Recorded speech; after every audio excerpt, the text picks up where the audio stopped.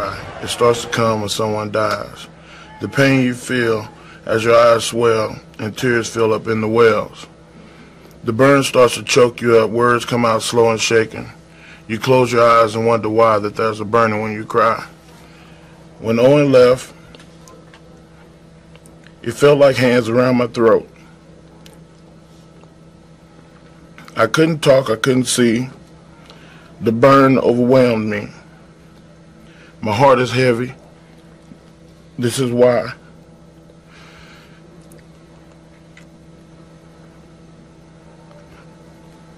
You get the burn when you cry. It digs down deep.